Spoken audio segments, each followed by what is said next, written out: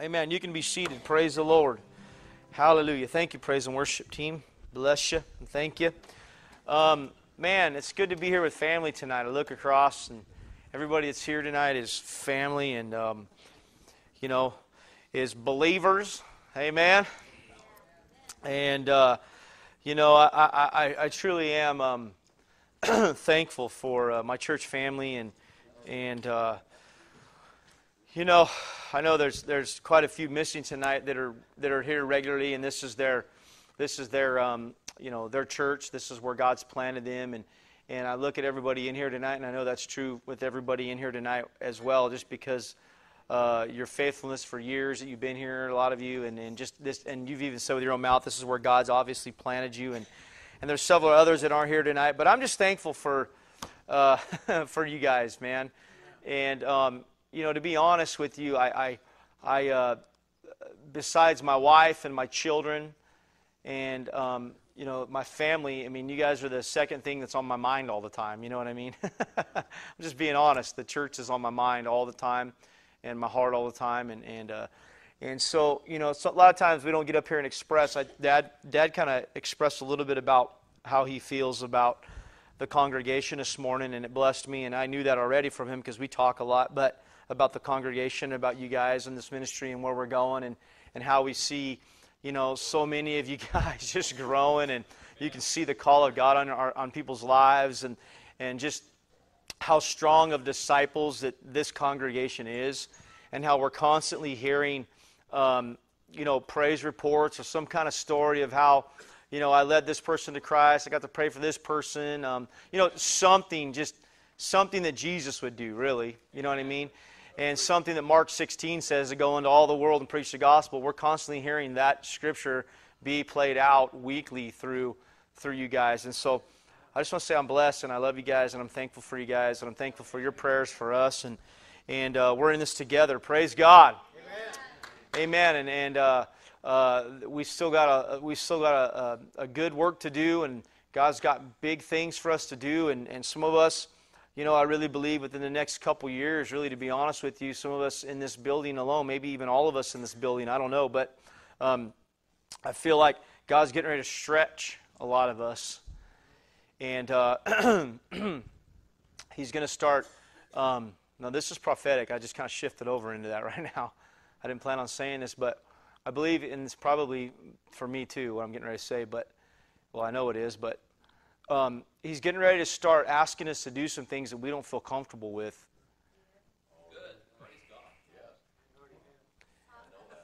Yeah, I know, probably already has. You're right. And me, even me too. He's been kind of dropping some things in my heart, and I'm just kind of like, all right, Lord, really? I don't know, man, you know. Uh, but, but, you know, honestly, we don't have anything to fear. If God calls us, He's going to take care of us. You know, if he calls you to go to Pakistan right now, that would be the safest place you could ever be on the face of the earth for this moment if he told you to do that right now. You know what I mean? So he's going to take care of us, but he's, he's getting ready to stretch a lot of us, and um, just be ready to stretch. Now, I don't know what that means fully. Uh, it could be in your prayer life, could be your outreach life, your, your, your, you know, whatever, your ministry. I don't know what it is, but just, just listen, and he'll show you what to do. And just, and sometimes, you know, he, he, he ain't going to grab us like a mom and dog does sometimes to their puppies by the nape of the neck. You know, he ain't always going to do that to us. He'll expect us to take that first step. He'll tell us, but he'll take, huh? Yeah, he'll prompt us, he'll speak to us, but he'll he'll wait for us to take that first step. Have you ever done that in your life where you knew that God was dealing with you about something and finally like, all right, Lord, and you took that first step and it was like, boom, he was right alongside with you and he's right with you? Things just flowed and did, you know. Well, that's, that's where we're at, and I believe that. The Lord spoke to me tonight during praise and worship, and He said this to me. He said that, and, and I'll say it a couple times here, but He said this. He said, We are in a season of decreeing and seeing. We are in a season of decreeing and seeing. And I said, All right, thank you, Lord. That's good. Praise God. And then he said, Well, wait, here, one more. And then he said, Start expecting to see what you decree. We are in a season of decreeing and seeing. And then he said, start expecting to see what you decree. Amen. And here, about a year and a half, two years ago, he gave me that scripture, Isaiah 21 6, where it says to be that watchman till you stand, to stand on that wall and declare and speak and decree what the Lord is showing you. Amen. And so um, that's a scripture there, Isaiah 21 6. That's a good one to, to, to have there concerning decreeing and seeing and saying and all that kind of stuff. But also, you can line up the famous scripture, Proverbs 18 20, 20 and 21, about death and life from the power of the tongue. You know, and you can curse a thing or you can bless a thing. Amen. And, um, you know, I know I was talking with uh, Sister Pat before service tonight. We were having a chat and we were just kind of talking about a little bit how the Lord is just, you know, we were talking kind of, actually, I was doing more of the talking. She was just kind of listening. But, but I was talking about how, um, you know, the Lord has just been dealing with us, with, with me and with other people I've been talking to about our mouths, you know, about what we're saying, you know, and, and, and really paying attention to just that little, little thing that we might not think is no big deal, but it is, just saying it, how it can cause damage or destruction or, you know, so if we can cause damage and destruction and death with our tongue, we can cause life and blessing and health, praise God, with our tongue as well. Amen. And so, you know, um, it's so easy to get wrapped up in what's going on around us in our lives and other people and, and the world, the politics, the other issues, the, the this and that, and, and all this kind of stuff. But we need to start just kind of seeing and focusing on what the Lord is saying to us in this time, in this season. Amen? And, uh, you know, here, uh, Pastor Tony Kroger here, uh, it's been two years ago uh, when he was here. Uh, not this last glory conference we had, but the one before, he preached a message on um, our faith, and he preached a message on getting our faith in agreement, getting, getting our tongue in agreement with our faith. And uh, the Lord, I didn't. I came here tonight. I, I was kind of being led to speak on uh, something kind of different tonight. But when I got here, the Lord changed it all, like He always does. That's why usually I don't even plan anything before I get here. And I just, I just kind of reading some scriptures this afternoon. I felt kind of like the Lord was leading me in a direction, but He just kind of changed it all. But He was. Um, talking about hooking our tongue up with our faith. Amen. And um, he talked out of there out of 1 Timothy uh, chapter 6, talks about fighting the good fight of faith. Amen. And then it goes on uh, there in, um, in Hebrews chapter 10, verse 23 and 24, talks about hold fast the confession of your faith. And then it talks about stirring up love and good works. Actually, let's just, let's just go ahead and turn over there real quick. Hebrews chapter 10. Let's just turn over there real quick. Look at that. I kind of want to look at that. yeah, there's nothing wrong with that. That's for sure. Yeah, you were in he- no, you were in Hebrews 12, weren't you today? Yeah, you were in. Hebrews. Oh, hurry up and turn there. I said that. Oh, oh, I said let's hurry up. Okay, yeah, I get what you're saying. All right. Hebrews chapter 10, verse 23. It says, Let us hold fast the confession of our hope or our faith without wavering, for he who promised is faithful. And let us consider one another in order to stir up love, uh, excuse me, love, love, Barry White, love in order to stir up love and good works, not forsaking the assembling of ourselves together, as in the manner of some, but exhorting one another, and so much the more as you see the day approaching. I wrote in here, we can stir up God and the Holy Ghost with love. And um, you know, it's a it's a wild thing, and, and the Lord's been talking to me about this a little bit. And I know that I know that we are taught to um, reach the lost and to go get the lost. And Dad kind of talked about that a little bit this morning. You know, uh, uh, uh, some of us have that gift of evangelism where we can go out, man, and we can get a doorknob saved. You know what I mean? I mean, it's it's it's that easy. I mean, there's just people I know people like that, man. Some of you in here are like that. You can just walk up to somebody, and they're like, "Lead me to Jesus." I mean, like one minute into the conversation, I've seen it. You know. And I go up to people, and it's just kind of like they just kind of like look at me. You know what I mean?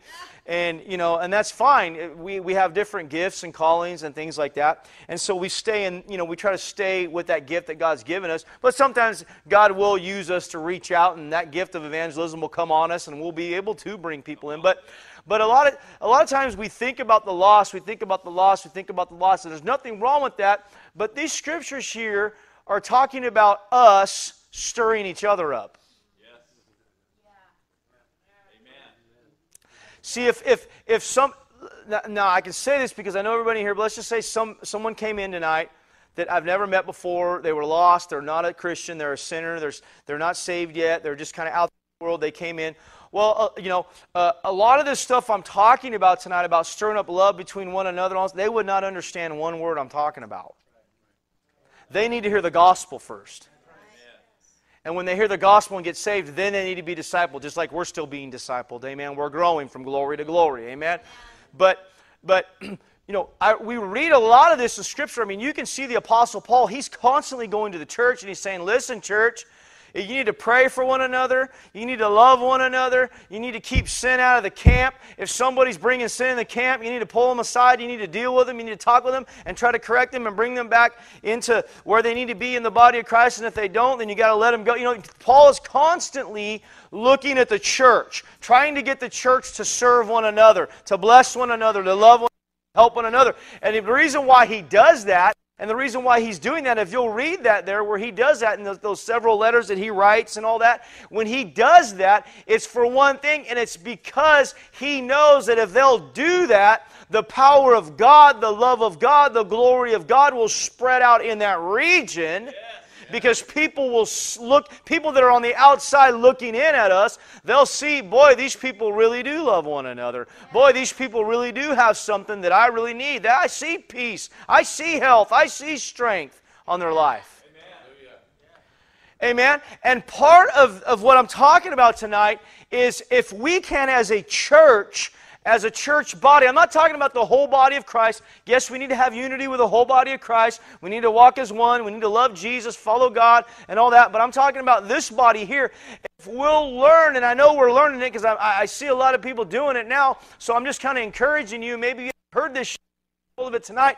But if we will get our mouths together and speak what God is saying through the leadership here of where this ministry is going, and we'll grab a hold of that because we love it and because we want to see people be blessed and we want to see others uh, come into the knowledge and the love of Christ, if we'll hook our mouths up together in unity and start speaking over this ministry and what God has for this city, praise God, we will come into the fullness of God. And one of those things that, uh, see, it says in here that it says in the word that we are supposed to stir each other up. We're to stir that gift. You know, that gift that Bonner has in his life. It's my job as not only his friend, but as his brother in Christ to just say, man, I, you can do it, man. I know you can do it. Just keep on going, man. God's got good things in store, you know. What does that do? That stirs up faith in him, that stirs up, you know what? Actually, I, that's true, Mike. Yeah, I know that is right. I can. You know, it stirs that that that that intuition on the I guess that's where I could use on the inside of you. That you know that God's got a plan. And what am I doing? And it talks about that in, in Proverbs. I think it's Proverbs 26 or Proverbs 27. It says that iron sharpens iron, that we sharpen each other.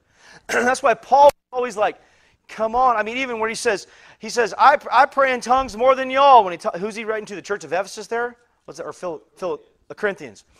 I pray in tongues more than y'all. What's Paul doing to that church? He's saying, look, folks, get stirred up. I'm trying to stir you up. You need to pray in the Holy Ghost. Because there's a reason for that.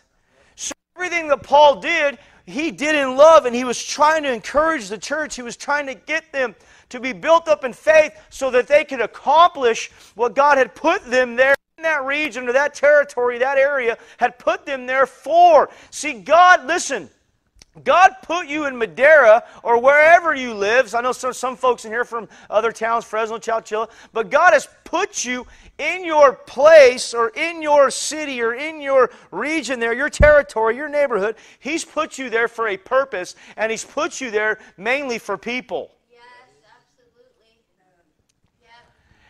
And you might not ever, you might, li- you might have lived on the same street for 20 years and maybe only led one person to Christ out of that whole time. But you led that one person to Christ. But think about how many other people you've been able to love on just by simply being nice to them, kind to them, having mercy on them, compassion on them, which that's totally Jesus. So one thing God's been really, really hammering me about, man, is compassion. I mean, just pounding me every day. It's like compassion, Mike, compassion, Mike, compassion, Mike, compassion, Mike, compassion. You want, you know, Mike, you've been crying out to me and wanting me to use you. Compassion. Your compassion will start bringing people. And I said, okay, Lord. And, and we know that, and, you know, and all that. But, but, but sometimes you just got to make that shift. You love compassion. You want to be compassionate. You do want to help people. But there's sometimes, you know how you, you just kind of get a hold of something, finally, you're like, okay, Lord, yeah. So I started, I've started walking in that more than I ever have before towards people. And you know what's amazing is people are starting to be more attracted to me. Someone's like, well, duh, Mike. I mean, come on, you know. But it's awesome how all of a sudden your phone is constantly, can you pray for me? Can you pray for me? I got this. God, starts bringing all these people to you because you, He sees the compassion in you. And there's a lot of people in here. I know you walk in compassion. I see it all over you. It's obvious. But I'm just saying that that's one of the lessons I think that as a church, if we'll learn how to just try to live our day throughout the day as we go about our business in compassion for people, I think we'll be able to be used a lot more by God. And there'll be a lot more opportunity for us to, to minister to people and to witness to people or just to love on people. I mean, you know what I mean? But but when Pastor Tony was here, he was talking about faith, talking about hooking up his hooking up our tongues to, to, to our faith and this and that. And he there was a statement that he had made that really blessed me. And he said, he said, as a congregation, talking about this congregation, as a congregation, we need to speak the same. What is God doing and going to do? What is God going to do in Madera and what is God going to do through this ministry? See, it isn't about dad, mom, me, the leadership. It isn't about us. It's about all of us. All of us. When I say this ministry, this I'm say I'm saying you you guys. That's what I'm saying.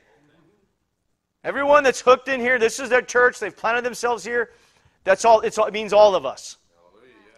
Even if we don't come every service or we're only able to come certain times because of work or, or whatever, but this is our church. We've locked and loaded ourselves here. This is us. This is who I'm talking about tonight. And here's one of the main things. Now, God might be showing you some things and speaking to you some things personally about this ministry and this congregation where He wants you to declare and say, then you go for it, go for it. Yeah, that, that's what we want you to do. But one of the main things he's been saying here, and I want to get this over to you tonight because I want you to hook up with this, and I want you to start, as you think about it, either on a daily basis or every other day or when it comes to your mind throughout the week or whatever, I want you to start speaking, like Dad said this morning, that this place is a hospital and that people are going to come and be attracted to this place. They're going to come get healing, they're going to come get deliverance, and they're going to come and get their lives saved. That's one thing I want you to get a hold of tonight that I want you to start hooking your mouth up with. And, and whenever you think about it, and you start speaking that over this place. Because I really believe this, and if I'm wrong, Dad could correct me on this. But I really believe that we are right now prepared and ready for people to come. I really believe that. And I'm not looking at um, how structured we are uh, how much of a, you know, uh, is the praise and worship good enough? Is the children's church good enough? Do we have enough nursery? That's not even what I'm looking at. I'm looking at you and saying, we're ready. I believe we're ready for more people to come. If 100 people came into this place right now and said, I want prayer, well, guess what? Everybody right here, stand up, get up here, start laying hands on people. I'm serious. That's what this is about. That's what I'm looking forward to. I ain't looking forward to me running the show. That has nothing to do with it. I'm looking forward to watching the people that are here that have been trained all these all this time, all of us in here are seasoned and ready to go. I don't care how you look at yourself, stop that. You're ready to do the will of the Lord. You're ready to cast out devils. You're ready to raise the dead. You're ready to lay hands on the sick. You're ready to lead people in the prayer of the baptism of the Holy Ghost. You're ready to lead people to Jesus. Everyone in here can do it.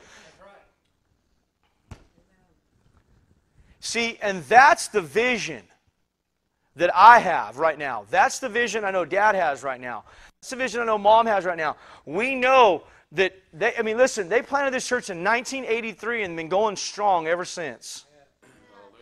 You'd be amazed. See, because I have a lot of people contacting me wanting to come preach here. It's been happening now for about two years. And um, I'm not kidding you. A lot of people.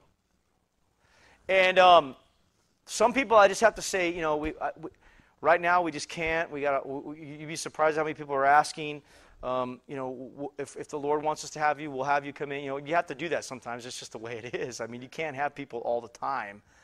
We have a good amount of guest speakers, but you'd be amazed at some of these people when they start asking about the church. Well, how blah blah blah. And when I tell them when the church was pioneered, almost almost every time they go, "Wow, you guys have been there a long time." They almost can't believe it.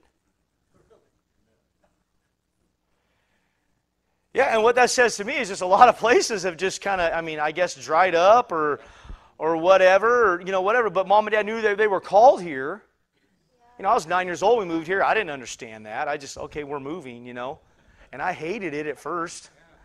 Just be honest with you. I didn't want to go to the schools up here. I didn't want to go. I couldn't stand it. It was different from where I came from. I'll just be honest with you. I came from Clovis. It was just different at first. And I was a young kid and I didn't understand. All I know is we left people and we live up here in the country in the middle of nowhere and I don't know who the there's coyotes running around and I don't know what the heck's going on out here, man. What's the deal, you know? Kids threatening to beat us up. I don't even know who they are whatever, you know what I mean? But you know, we moved up here but but we've been going strong ever since then and we've watched God over the years. And when I when I finally I, I guess I don't know, probably you know, in my 20s, I finally realized, okay, there's, there's something going on here. This is, a, this, is, this is for real. This isn't just church. Mom and dad have been called here, and I know people are going to start coming. And I started kind of seeing that vision in my early 20s, you know. And ever since then, and I'm 42 now, and it's grown obviously since then, as far as vision and the times and seasons and things we've gone through and all that, all of us as individuals.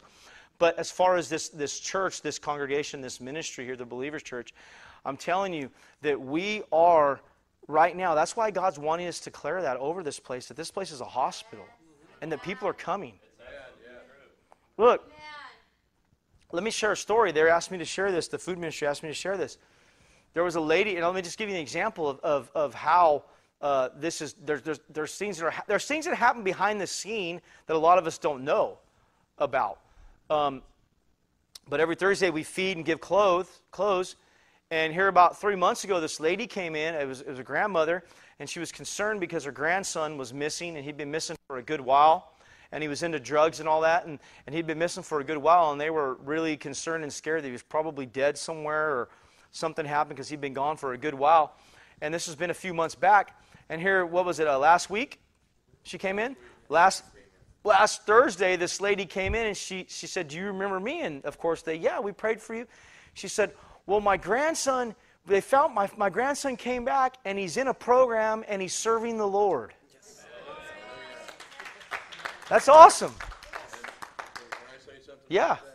What was so neat that when we prayed for her grandson, we had declared that he was just going to fall down on the sidewalk and give his heart to the Lord, and that's exactly what he did. Hallelujah. Yes, amen. And he went, he went searching for a place. He went searching for a place. And can I say another thing? Yeah. No, no, that, that's that's what it's about. With the food ministry there, and you're talking about a hospital here. Why don't you stand up and turn around so they can hear what you're saying? ago when I walked into the food ministry, the Lord told me, I want you to coincide with what's been stated here, that this is a hospital. Mm. And he said, to declare the food ministry a full hospital clinic. And, Amen. And so we declared that, And when we opened up the doors for people, I stood there and I yelled, This hospital clinic is open in the name of Jesus Christ. Anybody that needs anything, prayer for anything, any healing, we are here now. Yeah. Open. Yeah. So every week, the Lord's been telling me to announce that as we open the doors for people to come in. There it is. Amen. And, and we've That's seen that's part of it. and Yeah. we've seen more and more people come in, and we've had people come in and they've just gone, "Wow!" Yeah. You know, the power of God hit them. So strong. Yeah. And we've been having healings, and we've uh, there's been some people that have come to the Lord, Yep. and it's Yeah. just really, really tremendous. Right. Amen. And that's that's part of this this congregation, this vision, the vision that that that you know Dad said several years back. The Lord told him that that you'll if, if you'll feed this community, what did he say? He said, concerning the poor will dictate your ability to minister. What you do concerning the poor will dictate what you do concerning how uh, how effective you are in ministry here. And that's the truth. And we've been doing that for a while. I mean, just last Thursday as well, you know, we've been, like Royce said, that they've been decreeing that and declaring that people would come. Well, we have been too over the past couple months. Uh, and I, we've talked about it a little bit, but tonight I'm really trying to get it in you because because I, I really want us to start as a congregation, start speaking in unity over that. It's like Tony said, it stirred me up that time when he said that. And he said, if we can just get our mouths lined up with what uh, what the vision is here or what the leadership is saying here where we're at if we'll get our, our hearts in unity and our tongues in unity and begin to speak what god is doing and what he wants to do amen so we need to do that just you know we've been doing that well like we had another there was another incident that happened and i'm not going to harp on this incident but but uh, on Thursday, the same day on Thursday, you know, see, we have a lot of people in this area. A lot of you guys are, are some of you just come down here mostly on the weekends. Some of you come during the week, so you kind of see uh, what's going on around here. But we have a lot of homeless people. We have a lot of people that are on drugs, a lot of people that are alcoholics, a lot of people that are just full blown demonized. I mean, we run into a lot of people uh, like that. And some of them don't want help. Some you have to throw out physically. Sometimes you just have to, or you have to threaten them. I mean, I'm just being honest with you sometimes because, or call the police, or because you don't know what they're going to do. But sometimes there are people that do want help. And we had a young man that came here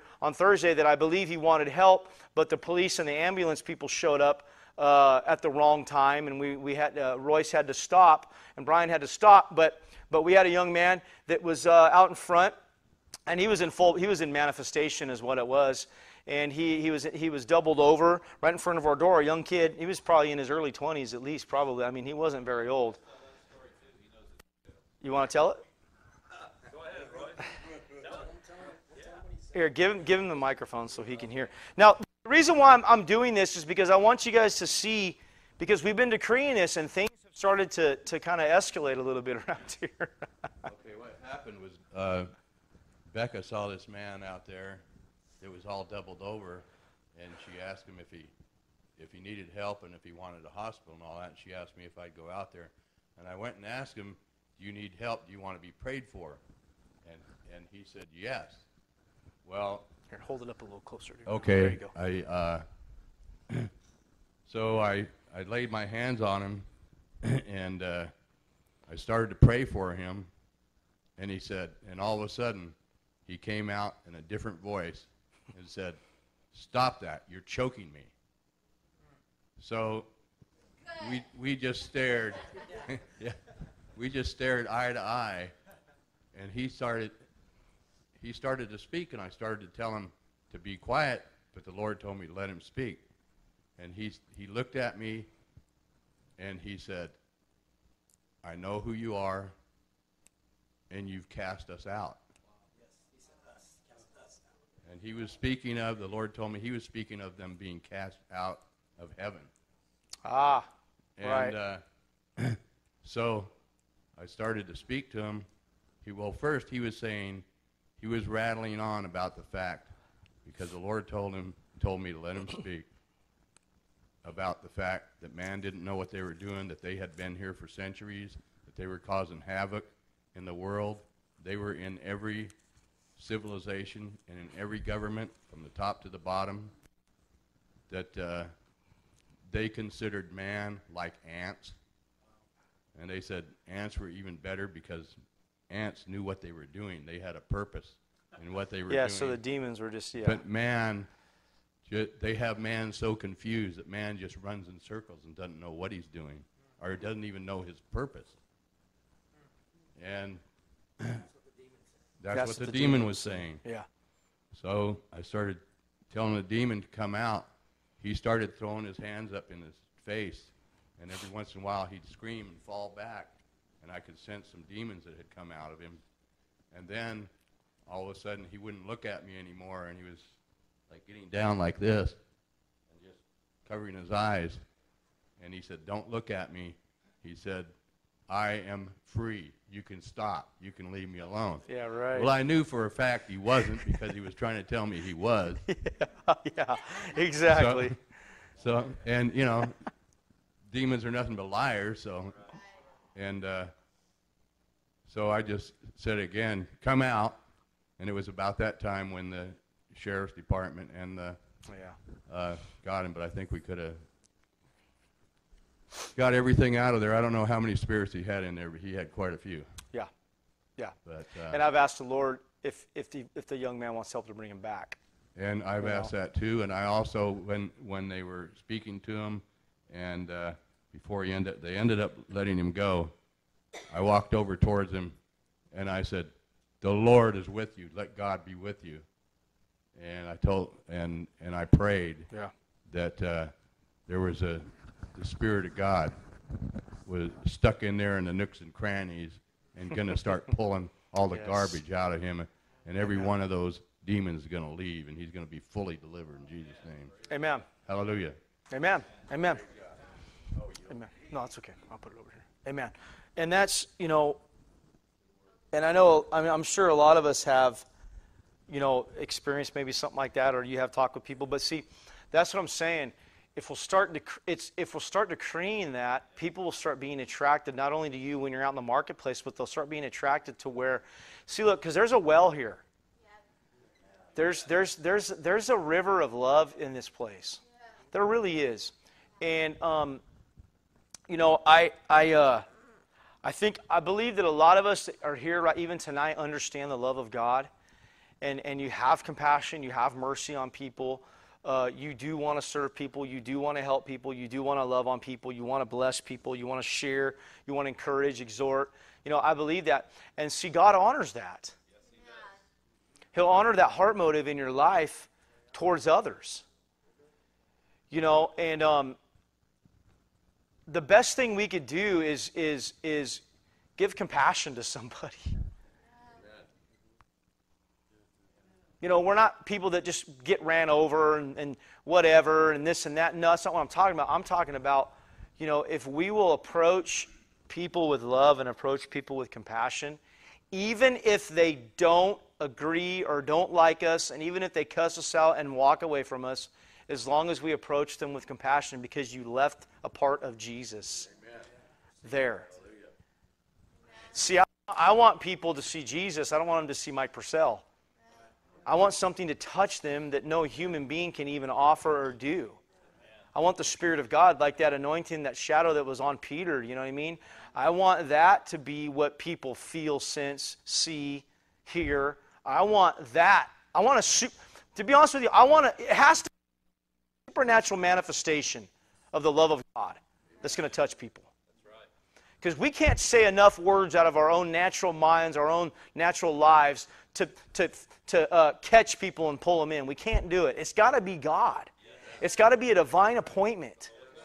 It's got to be the Holy Spirit. It's got to be a prompting. You know, and I think that that's why, you know, when I try to go out and do that, it's, it, it doesn't work a lot. It's when I'm just minding my own business and all of a sudden, boom, you hear the voice of God and here it is. You know what I mean? Or like Royce, you see that opportunity there and you go for it.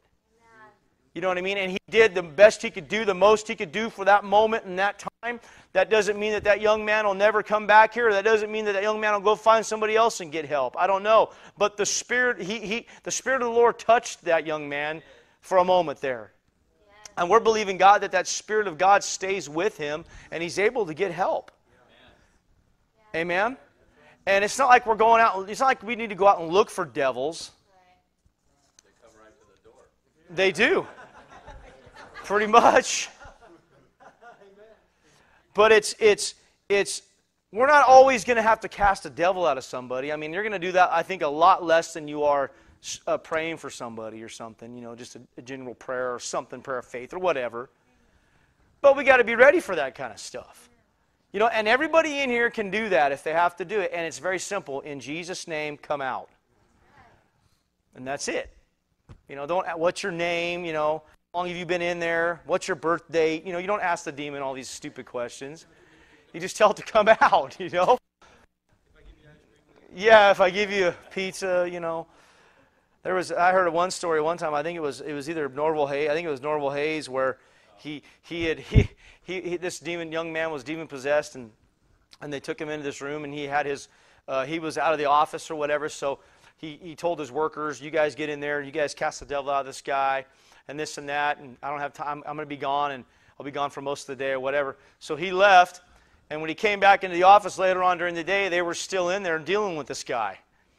And it ticked him off, and he walked in there, and, and, and I think the guy was eating a hamburger when wasn't the man eating a hamburger or something like that when he walked in or something like that. Yeah, the, the, the, the, yeah, the, the young man was eating a hamburger or something like some kind of fast food meal. And Norval Hayes walked in, and he asked him, what the, what's this guy doing over here eating? You haven't cast the devil? No, and they said, he, he said that the, the, the devil would come out if he could have a hamburger or eat or something like that. And he thought, get out. He kicked the guys out and he took care of it and cast the devil out. And the devil left like almost immediately and the guy was free. I mean, you know what I mean? you hear wild stories like that. It's like, what? You know? But, uh, you know, it's just a simple thing where you let the love of Lord, the Lord pour out with you. The devil can't handle the love of God.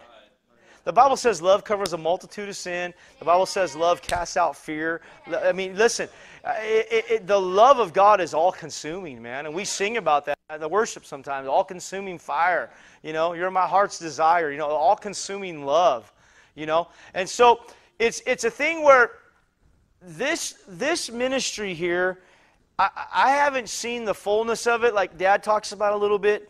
Um, I have seen uh, little blips and things like that about what God wants to do here. And I've seen a lot of us uh, uh, working here in this city, you know, preaching the gospel and, and just being uh, carriers of the glory, amen, and blessing people and helping people. Seen a lot of uh, branches from this t- tree here go out and minister and things like that. I've seen a lot of stuff. Just recently, here, about three weeks ago, I had a vision, just a mini vision, uh, during praise and worship here at church. And what I saw was all of a sudden I was out in the front of this church and I was in the street and I was on this stage and there was a mass of Hispanic people on the street. And I was up there and I was preaching the gospel with, an, with a Spanish interpreter. And there was people laying out in sick beds. They were sick. Oh, they looked diseased, a lot of people. And there was like a healing revival that was happening, and people were getting healed, and all kinds of stuff was happening out in the street. I saw that. And I wasn't thinking about that at the time. I was just hearing praise and worship, and all of a sudden, boom, I saw this picture. And I thought, wow. You know, and it's not about me. If that happens, Believe me, I'll be on the phone and I'll be calling every single one of you that are here and then some saying, make sure you're here this night because we need everybody. If you can come, we need you to minister to people. Because if there's that many people, we're going to need help. Amen? But see, we know, me and dad understand, and mom understand that we're here to disciple, to lead, and to feed, and encourage, to bless, to teach the word to build, this, build each other up, to help each other, encourage each other. But we're also here to reach the world Amen. from here. Amen. And the love of God will go abroad. Amen. And um, a lot of us, you know, we get attacked by the enemy, and I'm not going to harp on focus on that, but, you know, some of us in here, you know, I can't speak for everybody, I don't know, but some of us in here, including myself, have been going through a pretty rough year. This year's been pretty rough. And you might, you might, you might even be still going through some stuff right now, you know, or whatever. And there's people that are that are here that aren't here tonight that I know just by talking to them personally and things that they've been going through some pretty rough time, and the devil's really been attacking. And um, I know why he's attacking as hard as he is because he knows. He knows that he is, like mom always says, a drowning man grasping for straws, man. His ship is sinking. And see, we can't focus on the attacks. We got to focus on what Jesus has done and who we really are. And we maybe there's things that we got to learn personally about faith or about authority or whatever, and that's fine because I'm learning that right now myself in certain areas, and I'm growing in certain areas. What used to bother me a year ago, you know, isn't bothering me not even close to what it was. So I'm growing. I can understand that. I can only speak for myself. I'm growing in that. I, I can see fruit, I'm understanding some stuff, I'm getting a hold of some stuff. Um, I'll put it this way I'm better off now, right now, than I was a year ago concerning fear, anxiety, and panic. I'll just put it to you that way. I'm understanding what that is, where it comes from, why it comes, and how it comes. God showed me that. So I've had tremendous deliverance and help in that area in my own personal life. But the devil's been attacking, and, and a lot of us maybe are still going through some stuff right now. But I'm saying by the Spirit of the Lord tonight, get your eyes off that and get your eyes on what the Lord has been saying to you t- these past several months. And I'll tell you, Dad talked about today, talking about pulling that sword out. You know, that word, whatever that word the Lord is giving you, that scripture or whatever it is to speak over your life or your kids or your family or your situation, whatever it is, if you'll pull that sword out every time the devil says something to you, if you'll pull that sword out and you'll stick him with the word, he'll shut up. And he'll finally leave you alone in that area. I'm just, he will. He'll, he'll, he'll leave. And that pressure that he used to put on you won't be that as, as big as, as, as it used to be, the pressure. You'll learn how to overcome that, is what I'm saying. His attacks will always be there. He'll always mouth off. He'll always try something. But you'll grow and learn how to diffuse it before it becomes, before it's an anthill, before it's a mountain. You know what I'm saying? And so the devil's under our feet, praise God. We trample on him. He's under our feet. The Bible says in Ephesians that we've been, we've been seated together in Christ in heavenly places in Christ Jesus. And it says that we've been raised up far above that means the devil's below us, he's underneath us, it's over with. He's done. He's not even a concern, he's not even an issue anymore. He's defeated. Amen?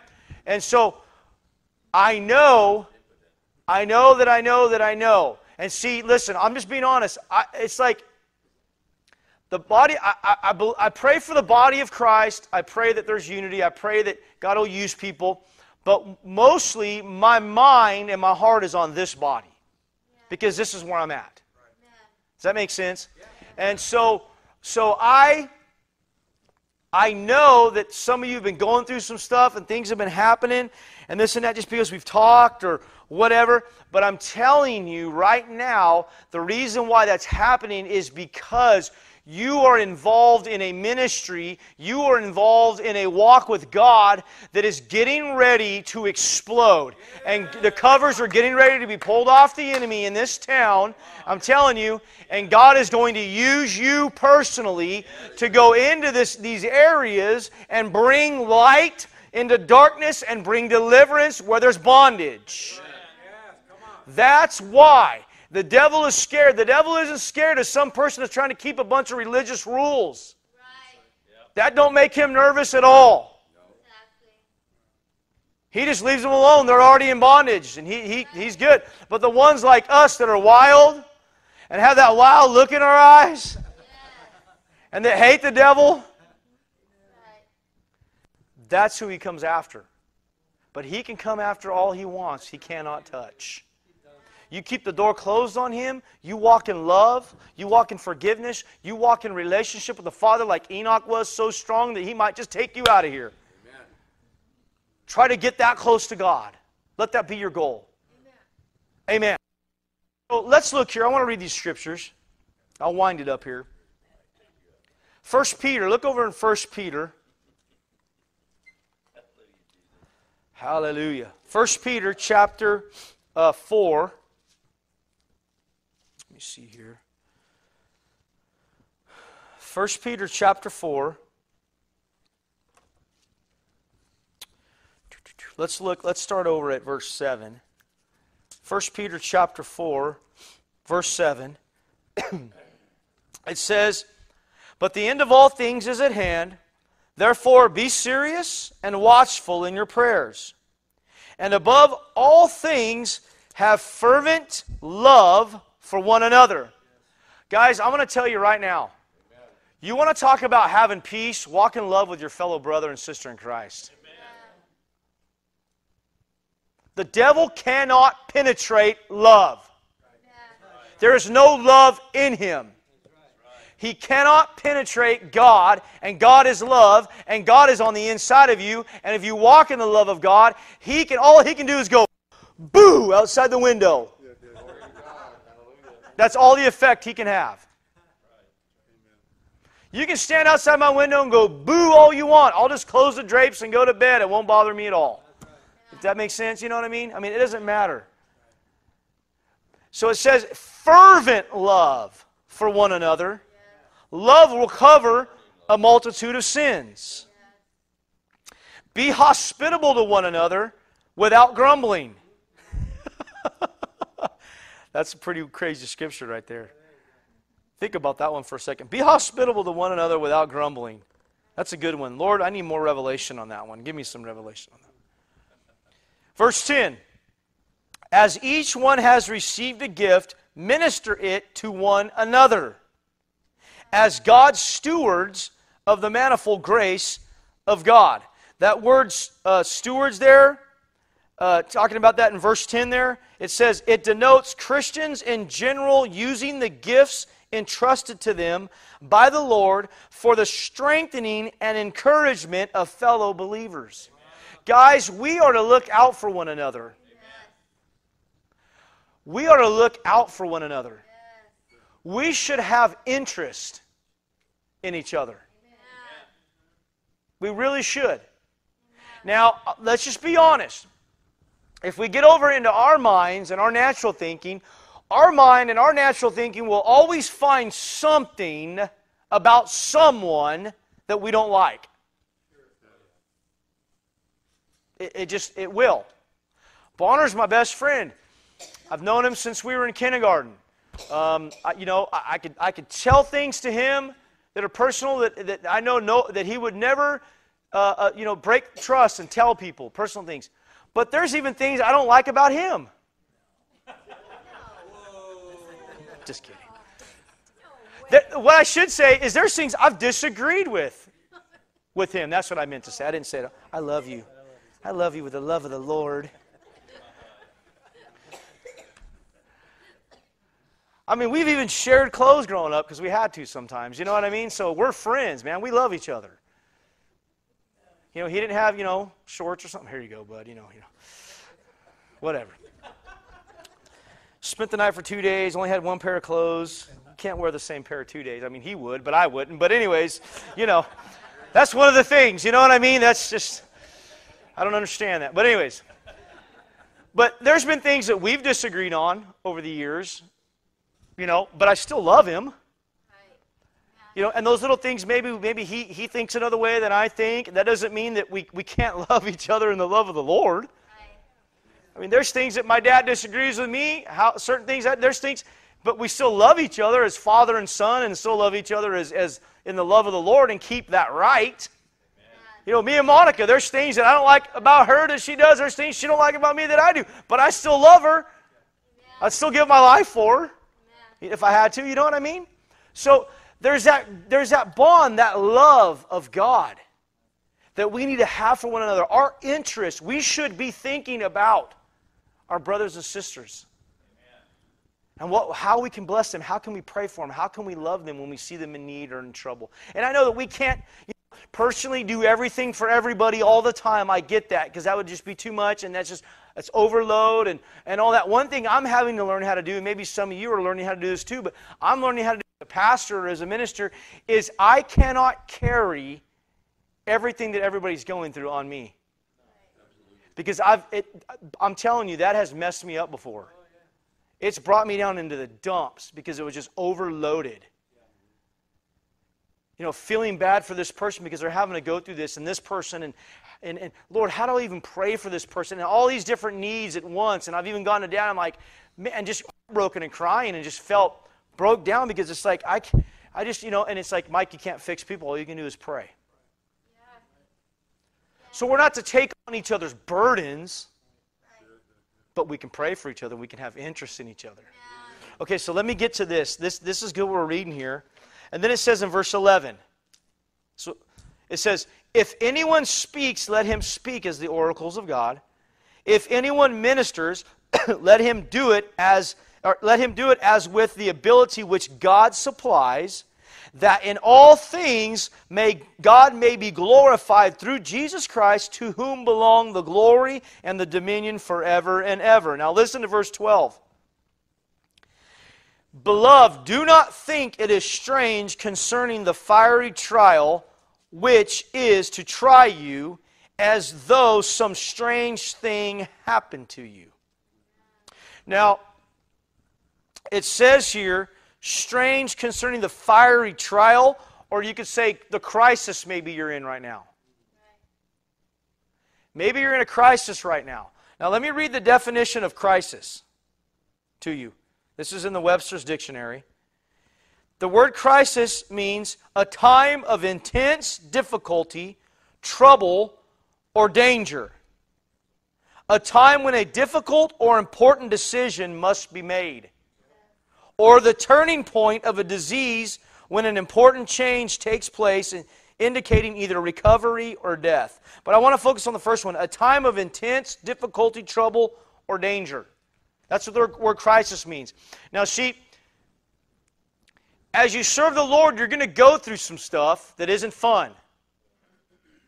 Okay? Whether it's just a blatant, flat out side punch from the devil to you, or maybe it's just something you've opened the door to or whatever, or you're believing a lie from the enemy.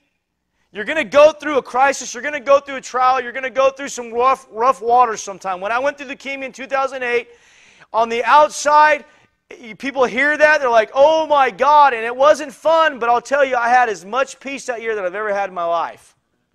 I know that sounds crazy and strange maybe to some of you. But I had peace going through that trial. But it was a trial. It tested my patience, it tested my love walk, it tested my faith, it tested do I believe Isaiah 53 5? Do I believe 1 Peter 2 24? What do I really believe? That's what it tested. and one of the main things, and I'm, I'm being honest with you, I got a paper at home that I even laminated.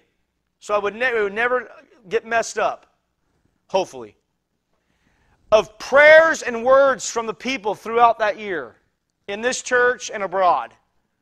Things they said to me, things they prayed for me, words they gave me. The prayers of the saints is what kept me. That's what we're talking about tonight. Loving one another. There's certain, some of you sitting in this place, some of the things you said, you don't know it, but I went home and I wrote it down. I got it on paper. And I held on to that like it was my last meal. So we go through things, we go through trials, we go through crisis. Now, in the Hebrew, whenever there's a word in Hebrew, there's always a picture next to it.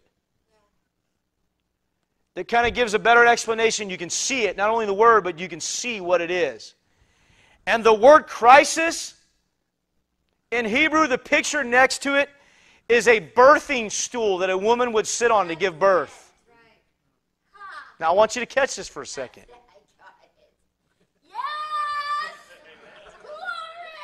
You want to come explain it? no, that's great. I'm glad you got it. Because when I heard this, it changed my life.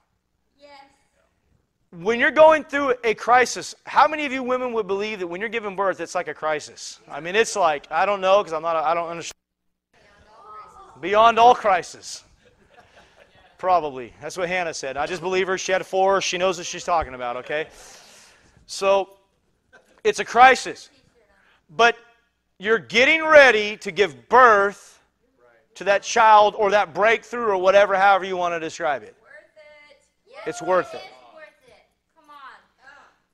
So the picture in Hebrew of the word crisis or trial is a picture of a stool that a woman would sit on to give birth. Yes. That stuff that you've been going through, or that stuff that you are going through, or that stuff that you went through, During that process, you're giving birth. And you're getting ready to birth what God has fully created you. That's why the devil turns the heat up. Right. Because he wants you to just say, forget it, I quit. Can't quit in the middle of a birth. See, that's how stupid the devil is.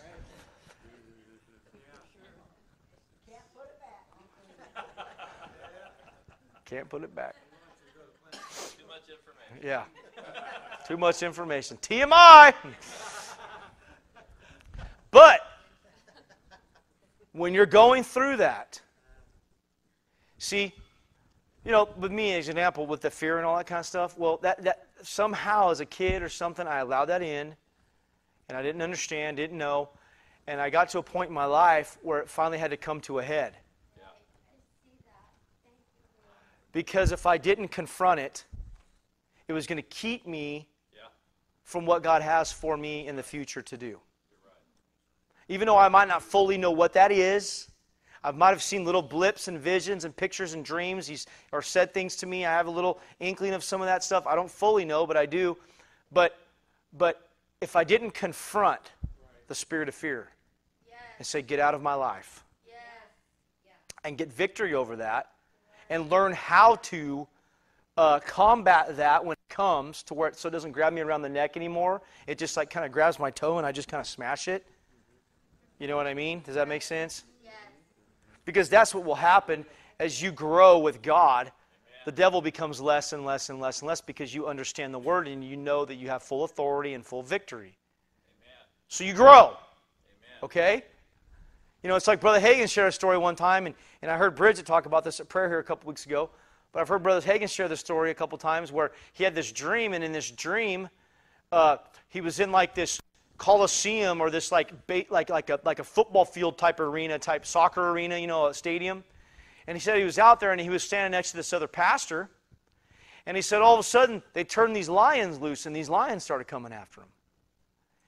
And he said they begin to turn, and they begin to run, but he says, We were running from them. He said, I knew in my mind that I wasn't going to make it over that wall in time to get up in the stands. They were going to get us before we got there. We weren't fast enough.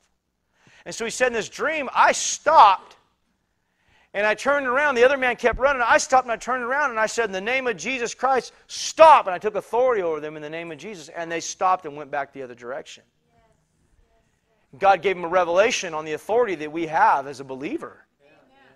And then he goes on to tell a story that one day he went to a church and this pastor came up to him and he said, Brother Hagin, I just want to let you know I've got the devil on the run. And he said, Well, praise God, brother, we're glad. And he said, Yeah, but the only problem is he's chasing me. You know? and that's he goes, Brother, that's not how it's supposed to work. He's not supposed to be chasing you, you should be chasing him. You know what I mean? But see, that's one thing we've learned around here, and we've been taught, and we're con- uh, we'll continue to be taught on the authority of the believer and who we are in Christ and what we have. Ephesians chapter two and three is huge. Just read those. That'll that'll that'll you'll get learning real quick. You know what I mean? So it says here that, beloved, verse 12, do not think it's strange concerning the fiery trial which is to try you, as though some strange thing happened to you. But, verse 13, but rejoice to the extent that you partake of Christ's sufferings, that when his glory is revealed, you may also be glad with exceeding joy. If you are reproached for the name of Christ, Blessed are you, for the Spirit of glory and of God rests upon you.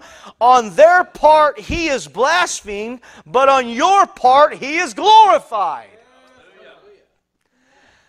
The devil tried to kill me with leukemia, but God said, You persecute my son? Well, guess what? My glory is going to be poured out even more on Mike Purcell, and I'm going to use him even more glory. And that goes the same thing for you. Look at it that way, because that's what he just said right there, and that's the truth. They blaspheme, which brings judgment.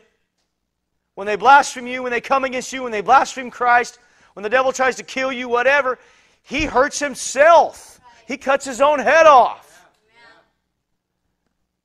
And God turns it around and he ends up getting all the glory for it. And the thing is, is the glory gets shown upon you and you're able to reach people that are in darkness. You'll be even be able to reach the people that were blaspheming you.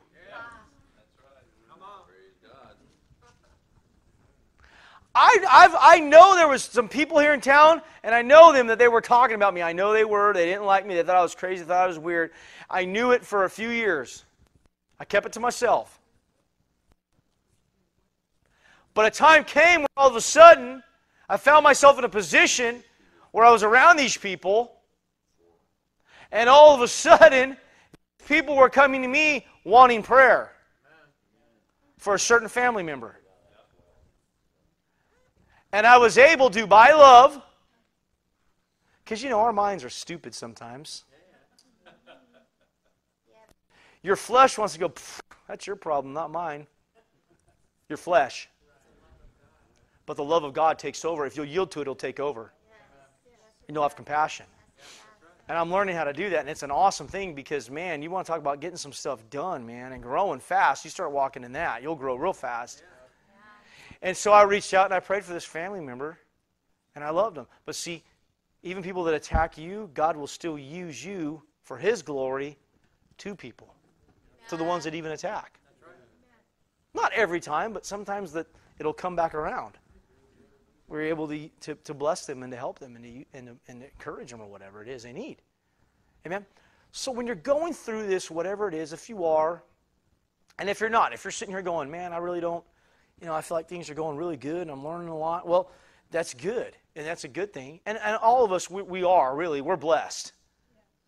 We are protected. We're loved. We're favored by God. We have victory. We have it, guys. It's ours. But if the devil can keep our minds clouded, just focusing on what the issue is or whatever, then he's going to mess with you. So you just got to pull the sword out whatever the scripture is God's given you to attack the enemy with, when he mouths off, pull it out and attack him. And if you have to attack him 30 times in one day with the same scripture, you, could, you attack him with it. Because, folks, I don't know about you, but I'm not going to give up. I don't think I have any quitters. There's no quitters in here, I don't think. I don't. They don't come on Sunday nights. Quitters. Quitters don't come ever. I mean, you know what I mean? I mean, quitters, quitters never come, is what I mean. That's what I meant to say. But I'm telling you, in Jesus' name tonight, if we will just decree and say what we've been saying, the time is now to say this place is a hospital. People are going to come and get healed, delivered, and set free. They're going to come and, and their li- this is how I'm saying it. Their lives are going to be saved. There's doctors every day in hospitals that save people's lives. They bring them back to life or they do something to help them. Well, that's what God's going to do here spiritually and even naturally. We're going to see healings. We're going to see things take place. We're going to see families restored. I know that I know that healing is the dinner bell to salvation. You think about it. You know, you're a sinner, and one of your family members gets healed of stage four cancer just within a week all of a sudden there's no cancer in their body, um, there's, you know, they're going to come to Jesus. They're going to know it's Jesus. They already have that hole in their heart, anyways. They're searching for something. You know, that's what I believe. That's why I believe we're at. And if we'll start speaking it, we're going to start seeing more of it come. We're going to see people come during the week. We're going to see people come on Sundays during services. If if if every person that has walked by the front of this building over the years since we've been here in 2001 that I've just me talked to and asked when is service and I tell them, oh, I'm going to be there Sunday, we would have like 8,000 people right now.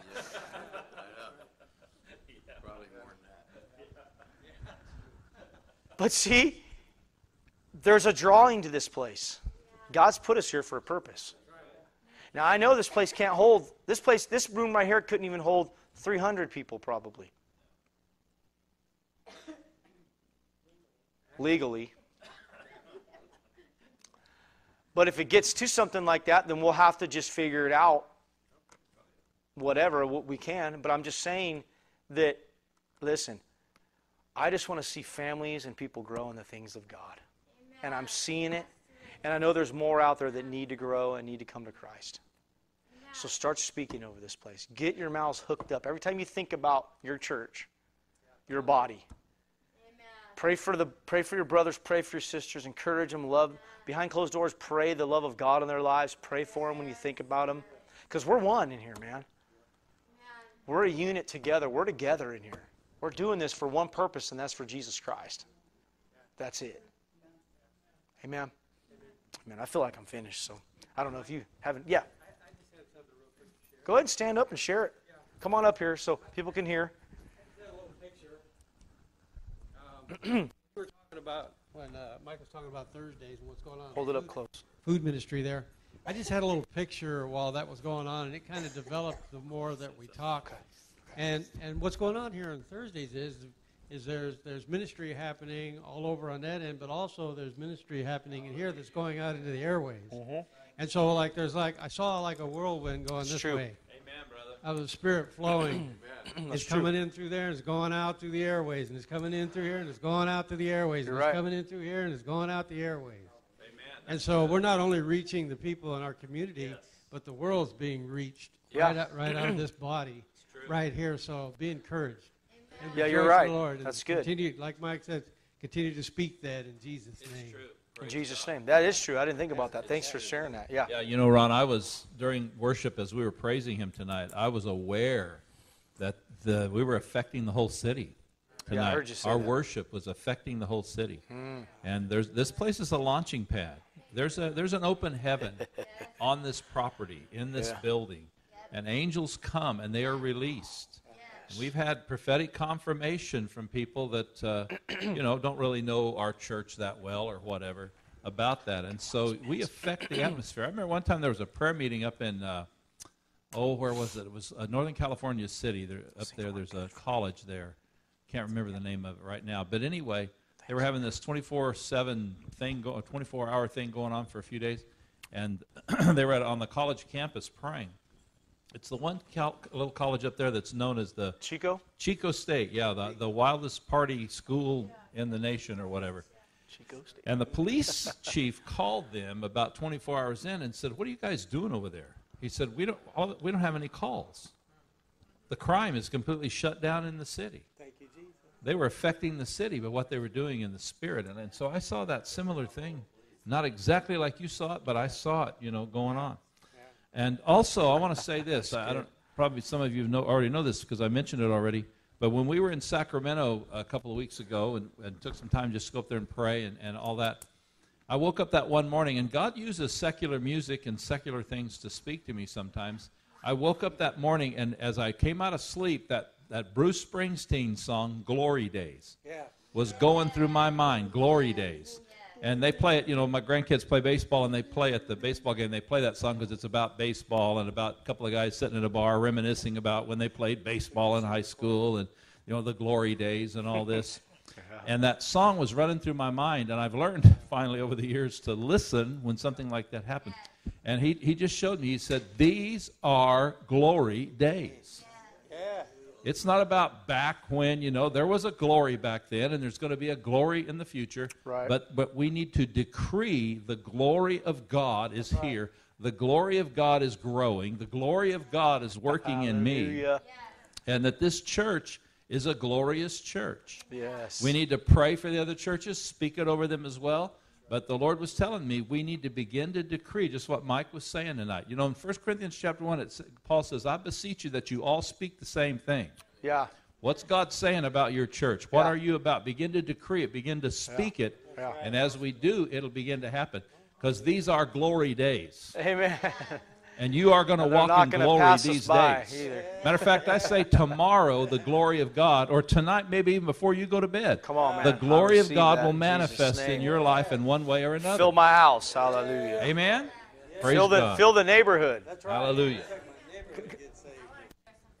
Yeah. Give it, let Tim. Yeah, just let's share, man.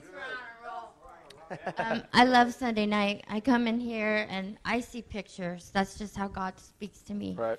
I get images and pictures. Um, I was here worshiping and I, I just sent, turned around and I sensed something. There was an angel behind Liz. Next thing you know, boom. I didn't know it was Liz. I didn't know who was sitting back there. But I sensed the presence of an angel. Um, and I, the only reason I'm saying that is that I believe the Lord was showing me that we're sentinels here. We're watchers. We're watchmen. And that there, Yeah. there are angels assigned to us because of that. Because Okay, those yeah. angels get on the words that we see Yeah, absolutely. and that we speak. Right. Um, there was an angel here behind Hannah. Um, the, the worship, the prophetic goes out. Thank you, Father. And as we speak what we see, those angels get on those words and then they perform them. Yes. Yes. yes. See, we're sentinels, we're Thank you, watchmen on the wall. It's not an accident that you're here. No. And so when we come, I don't like to miss on Sunday nights because there's a refreshing that comes here. So when I was there, and the Lord was giving me things, but I, I, I saw us. We were, um, the Lord showed me His throne room, the glory. Thank you for the glory, Lord. Might not be able to talk about it, but um, Thank you for the glory, Lord. there's a lot of rooms. Thank you, Lord.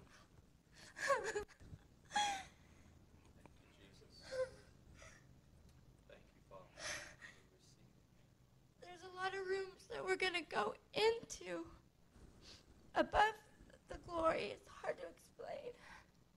But God's pulsing glory, love filled the place. But we were above the glory. Like, it's hard to explain, but there's a house above it. And we went into a lot of different rooms. We're going into a lot more rooms. And there's some doors that are going to be shut.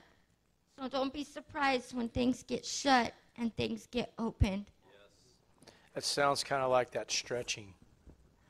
Some where God's going to start stretching some of us. So the Lord different, yeah. different, different. Uh, not only just different areas in the natural, but different, different gifts, different things that we've never really operated in. God's going to start stretching us and, and, and, and using us in different different ways. He's going to start using us different ways than He has been. I guess you could say. You're talking about these other rooms we're going into. Well, I believe that God. That's just part of that stretching where God's getting ready to move us into some new things because it's a new season. And there has been, and we've been talking about the, the season of the open door, the year of the open door. And so I really believe that. I mean, I saw that myself, that vision with the open door, and Jesus stand there, and he went through the door as if, come on, follow me, you know? So, and Ezekiel as 40, 44 4 Yeah. is my About the glory. My mandate, my that's every time I look at the clock, it's 444. that's me too. That's And um, it's it's about the glory. The glory is here. yes. We're It is. We've containers of keep- the glory. Keep speaking it and calling on and keep And- li- and- calling it, living it. just just lastly though Thank you, Lord. that that glory is connected to the angels the angels are connected to us as sentinels as watchmen so i just want to say watch for the new things Yeah, there's Yeah. new things yeah. it's just step yeah, in And, yeah. and there it is And I know what Tammy's saying there because um, I.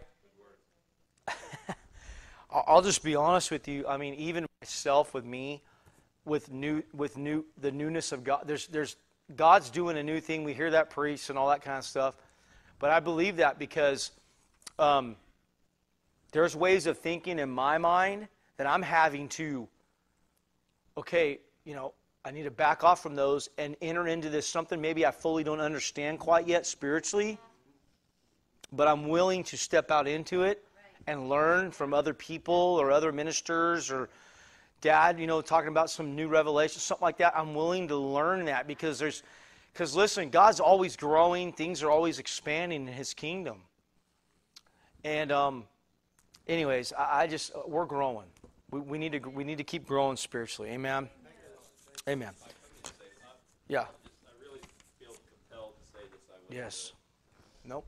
I know. Even the things that are happening in your life right now, circumstantially, and things that are in an uproar, things that are uprooted or shifted, and you know, it's. I was just talking uh, before the service with someone about how such dr- dramatic change on so many levels and with so many people. Yeah. The enemy is doing what he's doing. He's trying to intimidate, he's trying to Sure. harass, he's trying to deceive.